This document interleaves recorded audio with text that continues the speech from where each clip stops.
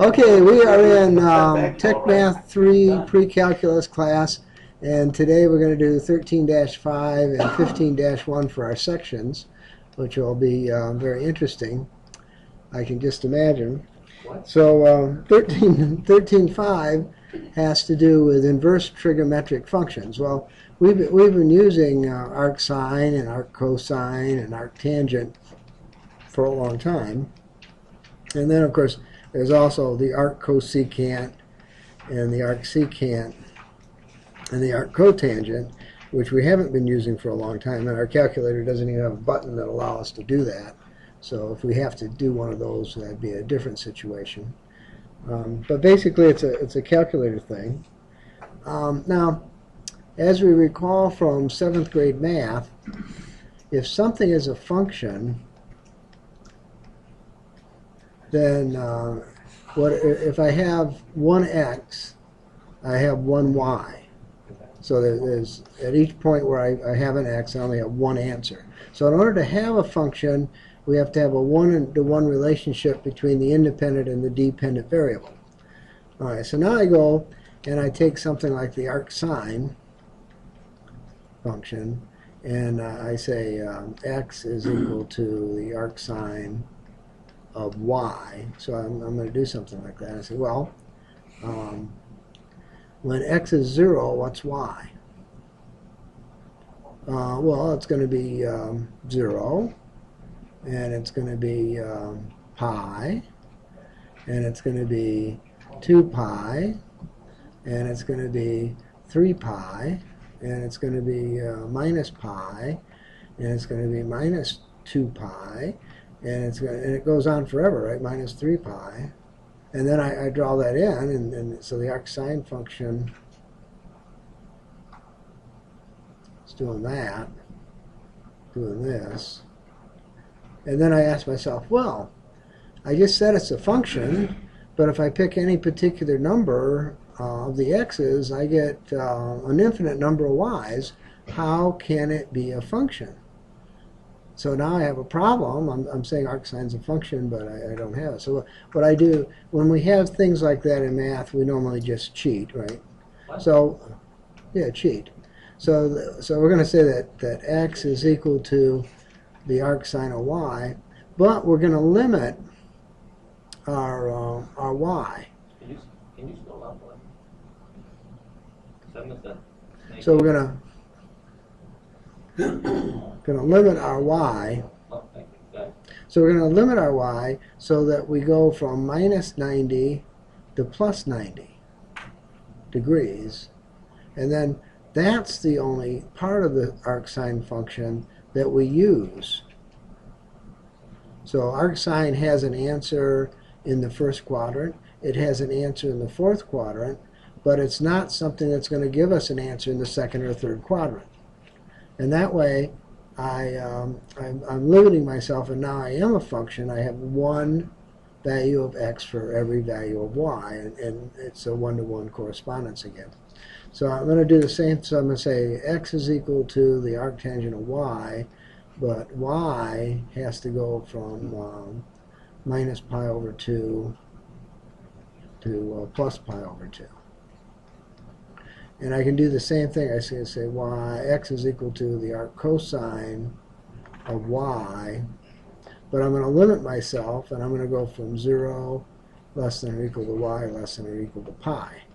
So when the arc cosine function, which Raimundo says it's perfectly okay to put on the same graph, so I'm going to do that. So the arc cosine function uh, does this. Oh, it doesn't.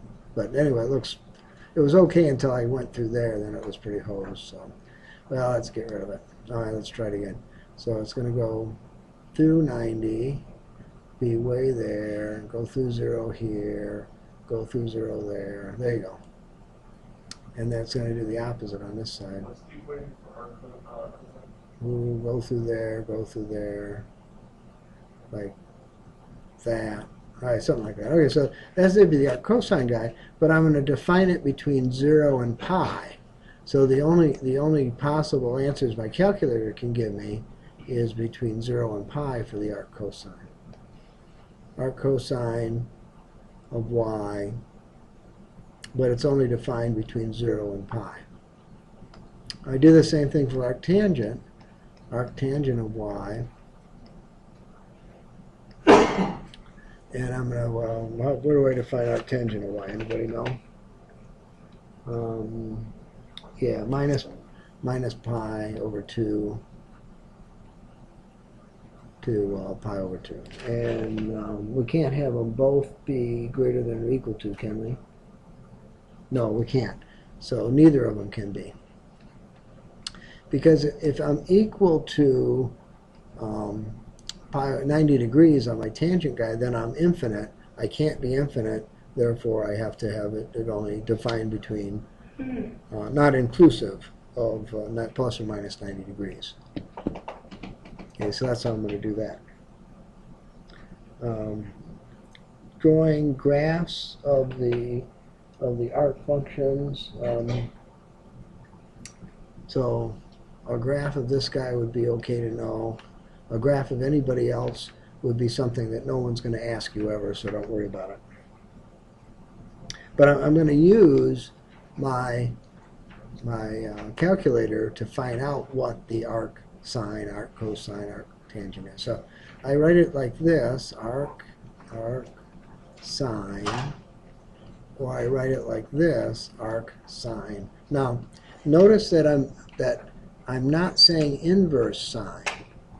So that there's f of x, and then there's uh, the inverse of f of x.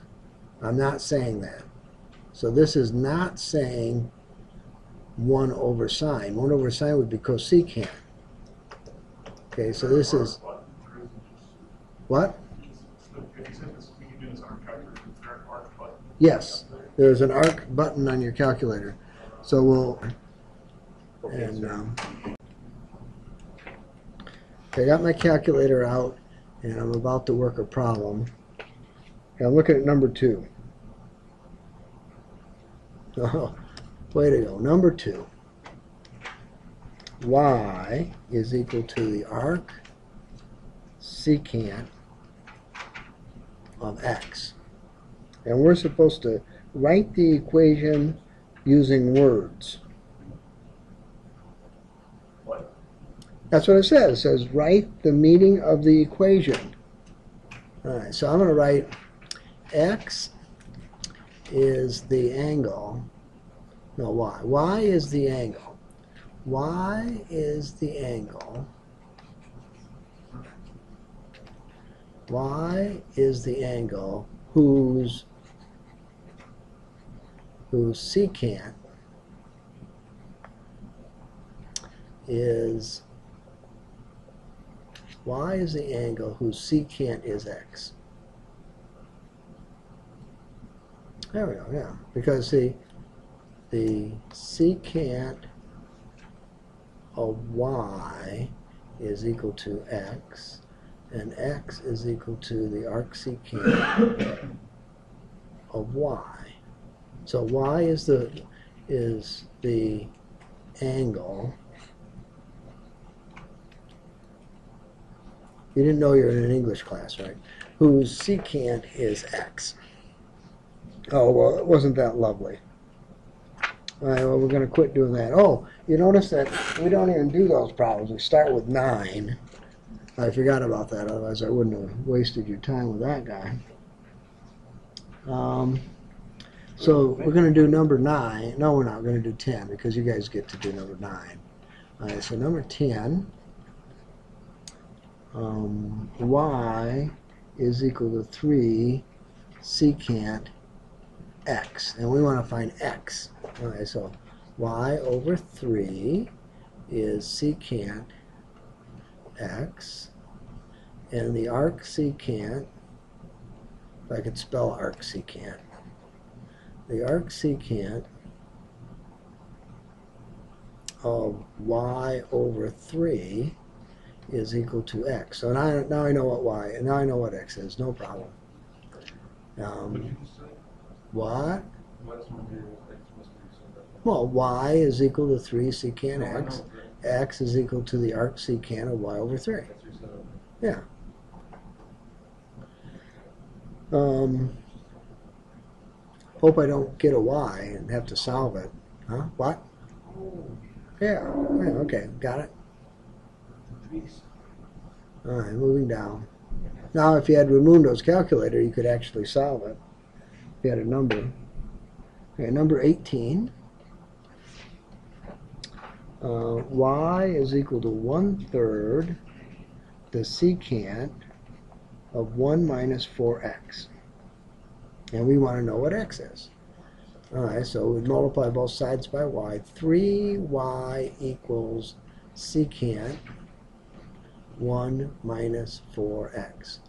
Then we take the arc. How come we're doing arc secants all the time? That doesn't make any sense. So then we're going to take the arc secant of both sides, and we're going to see that the arc secant of uh, 3y is equal to 1 minus 4x. And then we're going to have that 4x is equal to 1 minus the arc secant of uh, 3y. And then we're going to have x is equal to 1 minus the arc secant of 3y divided by 4. And then we're done.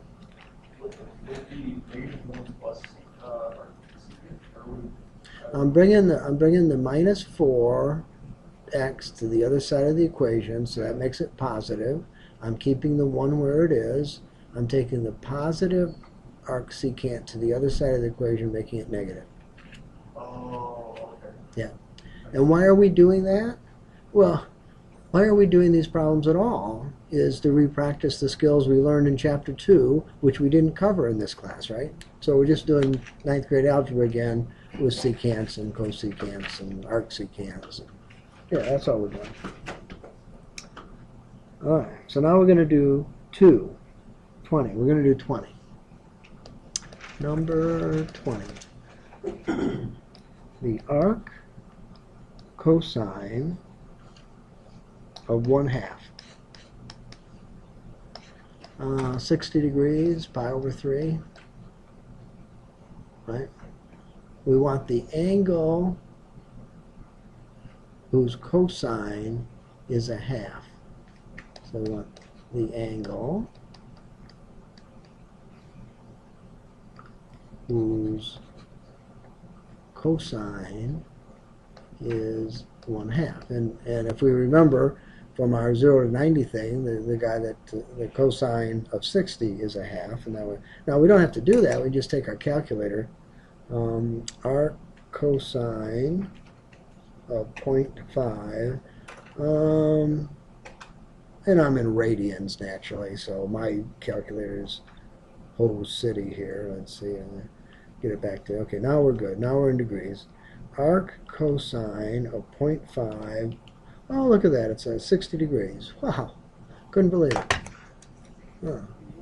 Lucky guess, right?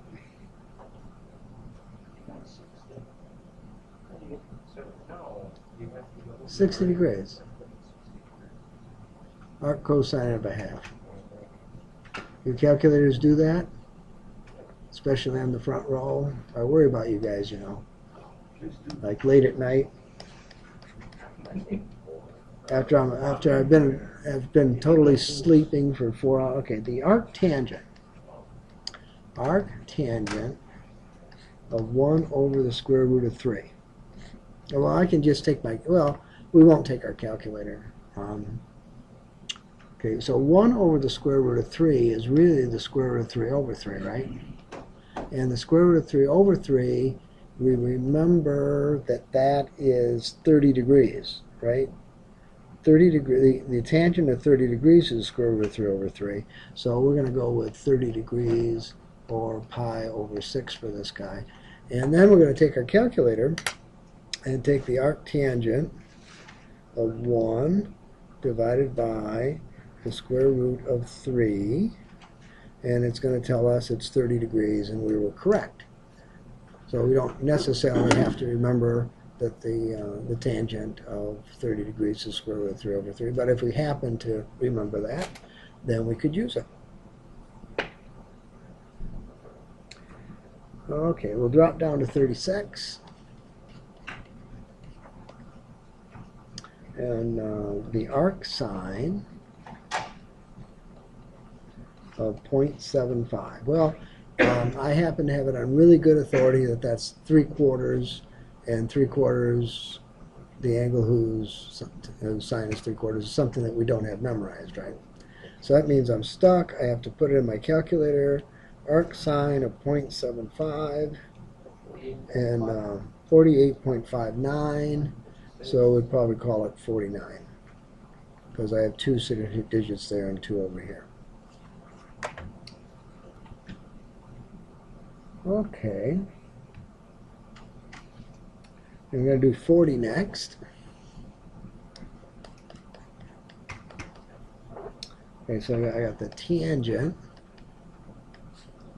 of the arc sine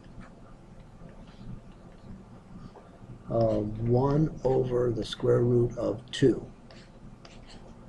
Okay, now we were we were um, dealing with words later, right? So we're gonna uh, I want the tangent of the angle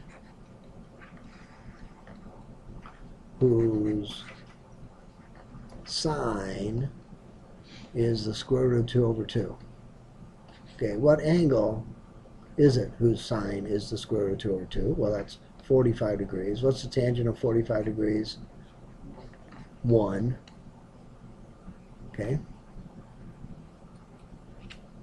Good enough? So I, I, I put it into words. I make that words turn into cents or dollars, and then I and then I find the answer. Okay, I'm going to do 44 next. Number 44. We want the secant, the secant of the arc cosine of minus 1 half. Alright, so we want the secant of the angle whose cosine is minus one half. If it were plus one half, then that would be 60 degrees, right? So the first quadrant answer would be 60 degrees. Minus a half is a second quadrant answer. And the second quadrant, that'd be 180 minus 60, 120. So this one, so we want the secant of 120 is what we're looking for. And we know that the secant is 1 over cosine, so we want 1 over the cosine of 120. And the cosine of 120 is minus a half, so it'd be over minus a half. So this is going to be minus 2. The secant of the angle whose cosine is minus a half.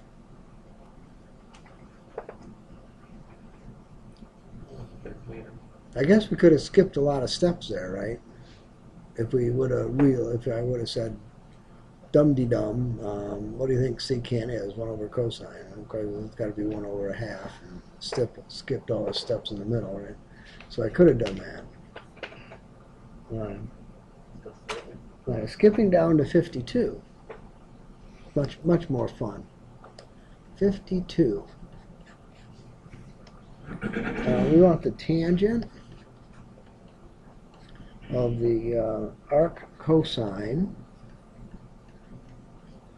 of x. All right, so um, doing what we've done, the tangent of the angle whose cosine is x. That's what we're looking for. Well, that looks like it's one equation, one unknown. It should be easy, right? Right, well, let's look at a unit circle, a unit triangle for a unit circle. So radius 1, there's the angle. Okay, so if the cosine of x, if the cosine of theta is x, if that's the case, then what is the x component? That's x over 1, right? So x is here. Well, if this guy's x, what is the y side? Square root of 1 minus x squared. Right? Pythagorean theorem. So now I have a triangle, angle. I know the angle whose cosine is x. I got him right here. I got him written down. And I know the tangent of that angle, the tangent of the angle whose arc cosine is x. I know him to be the tangent of theta in my diagram, which is the y component, square root of 1 minus x squared over x, the x component. Okay, nothing, notice I'm wearing short sleeves today, so there's nothing up my sleeves. I'm not hiding anything. You know. But if I don't draw that picture, guess what I'm going to do? Have the wrong answer. Right. So there's no way to get to the right answer without drawing a picture. And um, uh, I don't even think the high, did the high-speed calculator get the right answer. Yeah. It did. Yes. Uh, that disturbs my karma considerably. Was that good? That was good for the video, right? Yes. Yeah. I can keep the video now. Otherwise, I'd have to redo it next year. Number 56. The sine of the arctangent of x. All right, so I'm looking, um, I want the sine of the angle whose tangent is x. All right, so I'm going to draw a picture again. There's a unit circle, so that's going to be 1. Here's theta. And I'm going to take the tangent of theta, and that's going to be um, y over x, which is equal to x. Okay, so um, that means I can't have a unit circle anymore. So I'm going to get rid of this guy, and I'm going to say, well, that being the case, this side's x, that side's 1, right? Because if the tangent is x, then that's the y component over 1. And then the hypotenuse is 1 plus x squared, or you could call it 1 squared plus x squared if you like, either way. And then you say, well, what's the, what's the sine of that angle theta? And the sine of the angle theta would be the x component divided by the hypotenuse, 1 plus x squared. Two for three. Okay, and um, we're going to 57. Well, that we we're only going to 57. I just did 56. So I guess I guess we're done with uh, this section of the book. Notice on page 473, there's a whole page of things to memorize, uh, which you don't have to memorize because it's in the back or front cover of your book, and you'll be able to use it. Okay, so now we're now we're in chapter 14. Uh, we have an imaginary operator i, which is square root of minus 1. We have a plus bi, which is rectangular form. We have r angle theta, which is rectangular, which is polar form. Um, if you want to take and square, if you want to, if you want to go and raise the imaginary number to some power n, and you're going to do that in polar form because that's going to be r to the n angle n r. If I could make an n. There we go, angle n r. And if I if I want the square root, I want the square root of four um, Just slide up a little bit. four plus three i. Thank you. So I want the, the square root of 4 plus 3i, I would change that to rectangular form, 5 angle whatever theta is, um, to the 1 half, and then uh, that'd be the square root of 5 angle whatever the theta is divided by 2.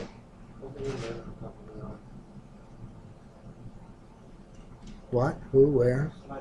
The the little letter on, the, on They are, So when I'm dealing, n, okay. so when I'm dealing with imaginary numbers, if I'm adding or subtracting, I want to be in rectangular form.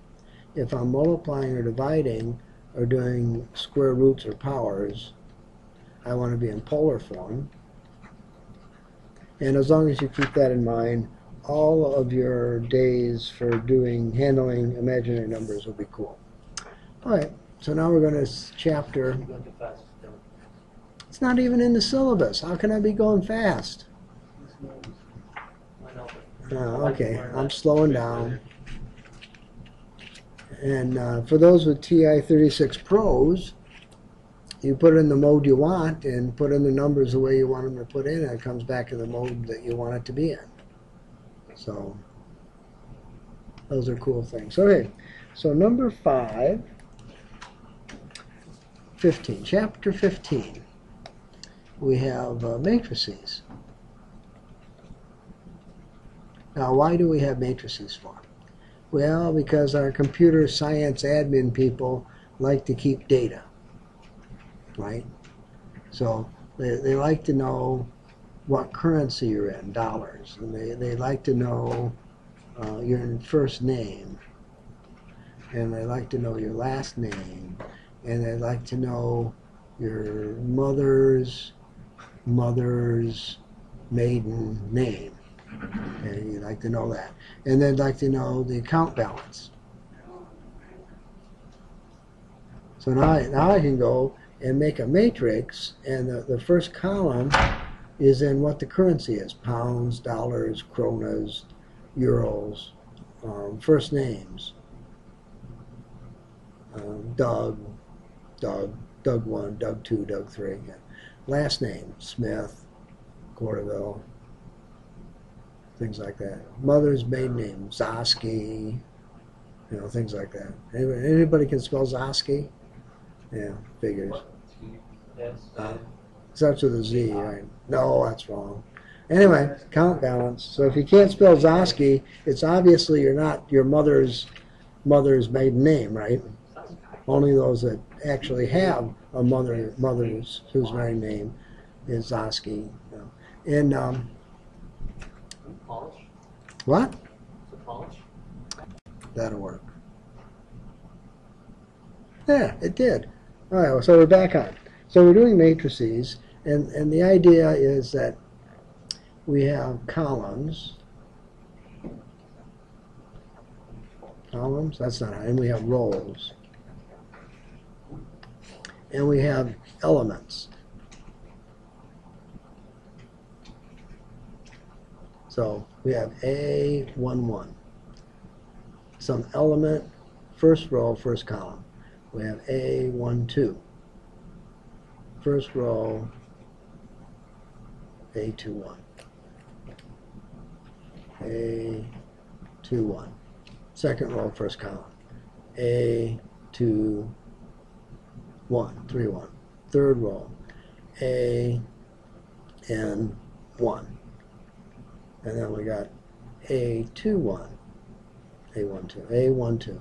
First row, second column. First row, third column. First row, nth column. So it doesn't it doesn't have to be square. I don't have to have as many rows as I have columns. And then I fill all the elements up with things. So I have rows and columns. Um, is there anything to know? Okay. If I if I have some matrices M and I'm going to multiply it, and I'm going to add. I'm going to add and subtract it from n. Then the dimension of the m guy and the dimension of the n guy has to be the same. So we use brackets and we say that this is 3 by 3. Three rows, three columns. And these guys have to be 3 by 3. Three rows, three columns. If I'm going to add them. So I couldn't have something that was a a one, two, three, and I'm going to add that to a one, two, three, four. That that doesn't work. Position has meaning in matrices, so I, I can't. I, I'm going to have. They have to have the same dimensions if I'm going to be able to add them.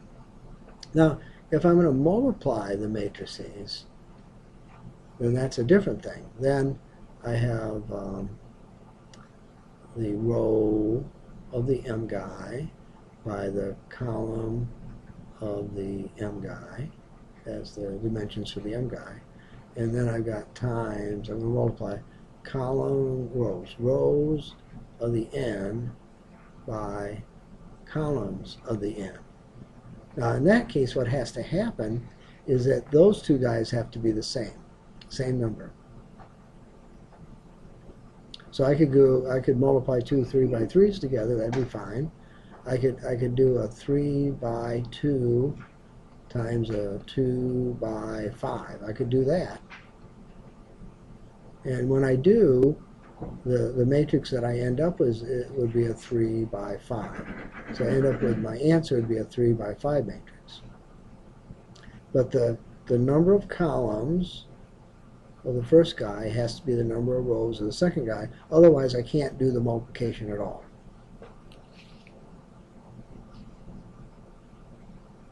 Okay. Too much theory, I know. We'll try problem number one, number two. Problem number two. What is the order of the matrix? 2, 9, 5, 2, 6, minus 1. I'm using brackets like that. What is the order? Uh, I got one, two, three rows, three by two. I have I have three rows and two columns. This is a three by two matrix. And number six. 1, 2, minus 6, 4, minus 7, 3, 6, 4, 0, minus 9, minus 1, 0. What is the order of the matrix? So I've got three rows by four columns. So my order would be 3 by 4.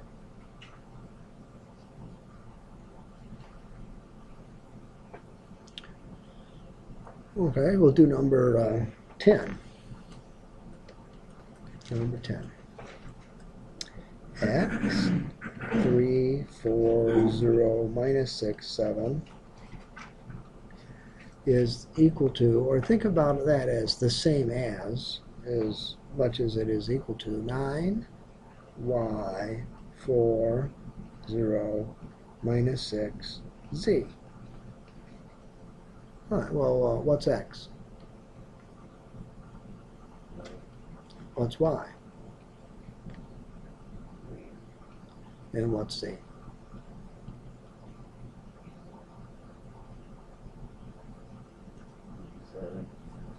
Okay, it's that easy. It just, whatever position it is, it has to be that. In order for those things to be equal, the minus 6 has to equal the minus 6, the 0 has to equal the 0, the 4 has to be the 4, the x and 9 are the same. The 3 and the y are the same, the 7 and the z are the same. And uh, thank you very much, Hugo, for coming up with those answers. That's brilliant of you. Yeah. yeah. All right. So we'll do we'll do number um, number fourteen next. We got um, two x x plus two y x y z s plus y plus z. All right, so I got three elements. One, two, three elements. And it's equal to 12, 22, 16. All right, well, I want to find x, y, z. So 2x is equal to 12, clearly implying that x is equal to 6. 6 plus 2y is equal to 22, meaning that y is going to be equal to 1. I put a 6 on the other side, that's 16, half of 16 is 8. And then I've got um, 6 plus 8 plus z is equal to 16, and that sort of implies z is equal to um, 2. Okay? I could I could do it that way. I could do it a different way. I, I could go and say 2x is equal to 12. And then I could say um, x plus 2y is equal to um, 22. And I could say xy plus z is equal to 16. And then I could just take out my calculator and go um, second function system solver 3 by 3 system solver 3 by 3 enter. Okay so I'm going to put in a 2 0 0 12 and then I'm going to put in a 1 2 0 22 and then I'm going to put in a 1 1 1 16 and then I'm going to hit the solve button. Solve? Oh look at that. X is 6 I don't believe it. And y is 8 and z is 2 wow. The calculator did it for me. So I don't necessarily have to um, stretch my brains a whole lot to get that answer. But that was a pretty simple thingy. And, but you do have a three by three equations three unknown equation solver on your calculator unless of course you have the fancier ones and they go to multiple equations more than that. Okay now we're going to say is it possible or is it not? So we said if I'm going to add or subtract I need the same order. Okay so that's all I'm doing. I'm saying possible or not possible. All right so um, number 12 number 17 yes it's possible. Number 18 yes it's possible. Number 19 yes.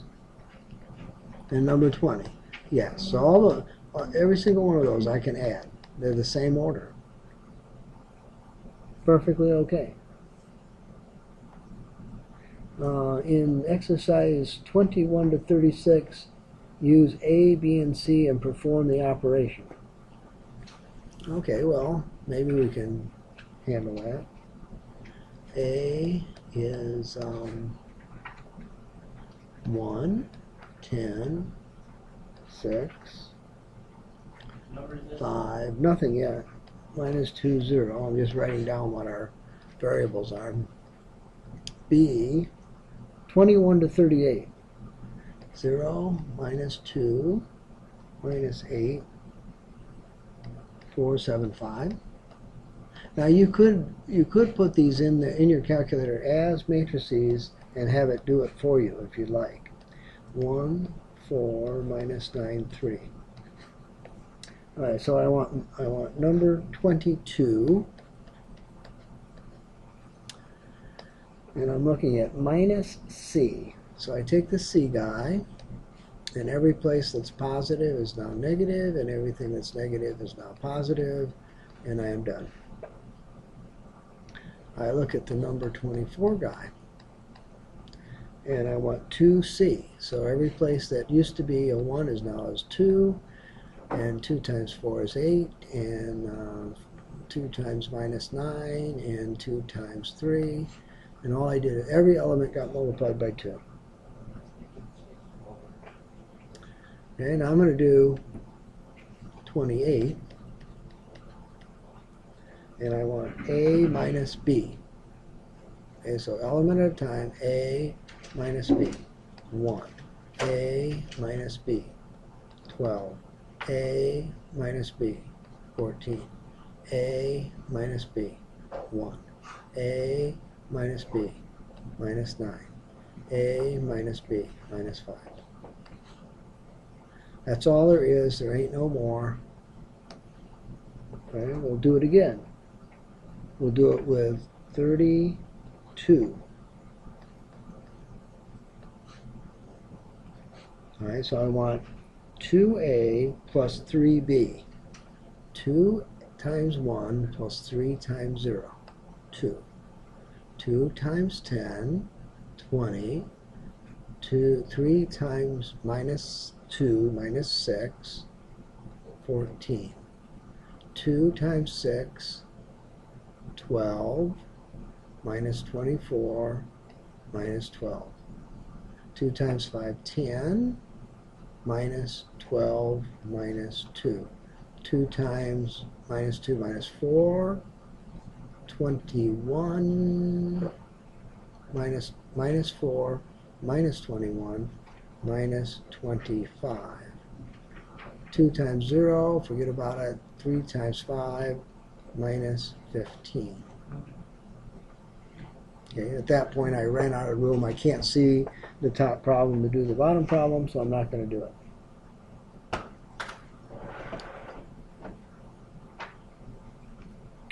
Um, hmm. We don't even multiply any things this time. That's no fun. Right, I guess we're going to have to do 44. Looks like somebody sneezed in my book or something here. Must be chocolate. All right, number 44.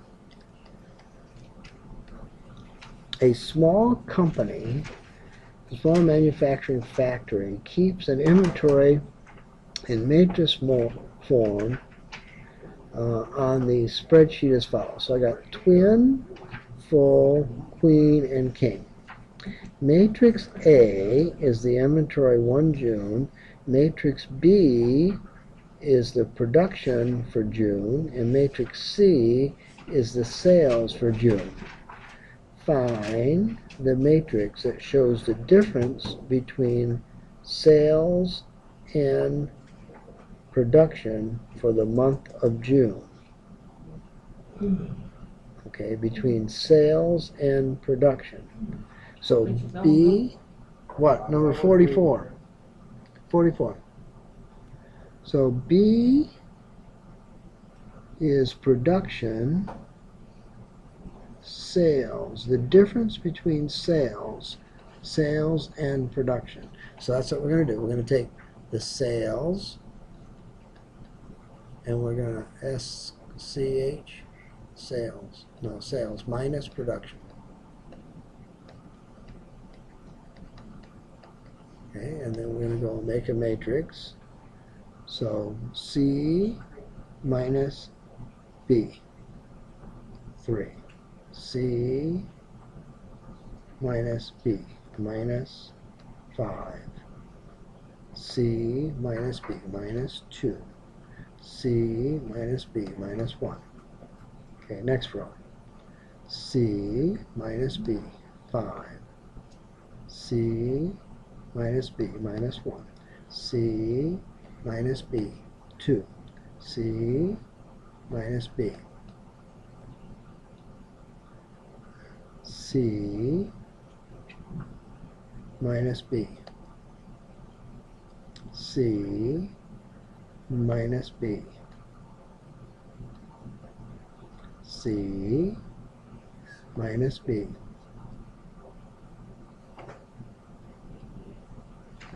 C minus B.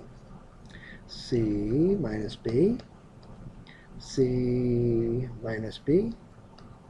C minus B. C minus B. So all we're doing is practicing our fourth grade addition skills, one element at a time. Okay, questions about that?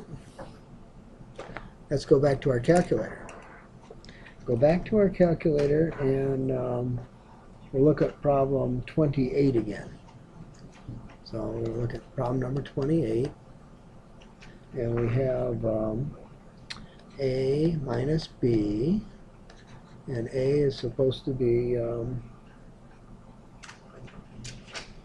1, 10, 6, 5 minus 2, 0, and B is supposed to be uh, 0, minus 2, minus 8, 4, 7, 5, and we know the answer already, that's not the point. But we'll find the answer anyway. 1, 12, 14, 1, minus 9, minus 5. So that's what the answer is. So we take our calculator and um, matrix. So the math guy has second function matrix. And uh, we're going to edit A. We're going to edit A. We're going to tell it that it has two rows, two rows, and it has three columns. Okay? And then we're going to put them in. 1, 10, 6, 5, minus 2, 0.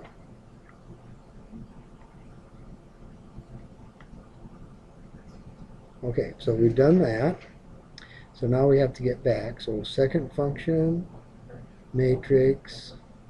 We're going to drop down to B. We're going to go to edit B. Okay, B is going to be a 2 by 3. Okay, now I'm going to put in B. 0 minus 2 minus 8 4 7 5. Okay. Now we're going to go to matrix again. Now we're going to go to math. Okay, I guess I guess math is the wrong place to be, so we'll get out of there. We'll get out of get out of there. So we're going to quit. Okay, now we're going to go A, second function, A, minus second function, B on our calculator. Syntax error, stupid machine anyway. I don't believe it. Alright, so that's not what we're supposed to do. Alright, so we're going to go to um, second function matrix, hit enter on A. second function matrix Then hit enter on A. Oh, there it is. Yeah, there we go. A minus second function matrix down to B. Wow, there it is.